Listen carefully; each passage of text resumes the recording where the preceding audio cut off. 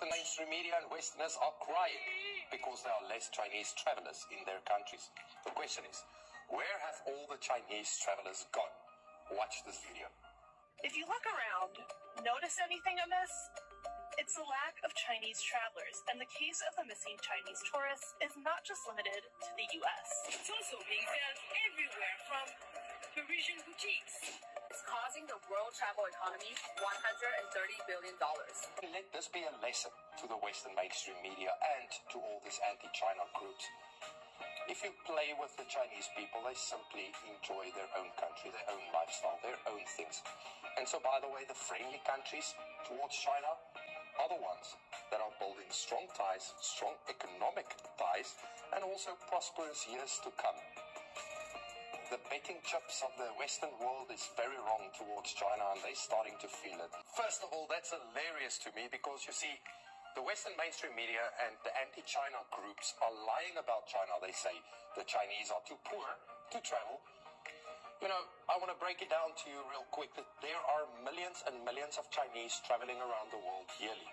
And now these Westerners and this Western mainstream media outlets are crying about it because they are losing a lot of money from the poor Chinese people.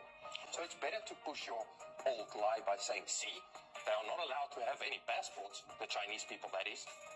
But no, they are crying and they want to blame China now for not making money off of the 1.4 billion people.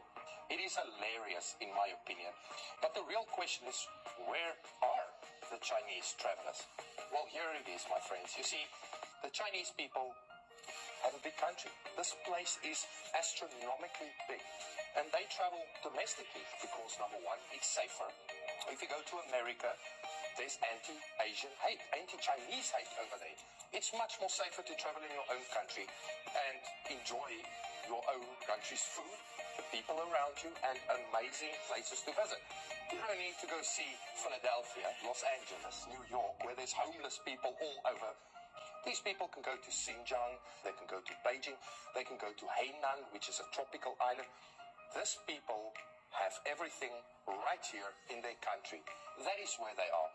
And now they see the power of 1.4 billion people.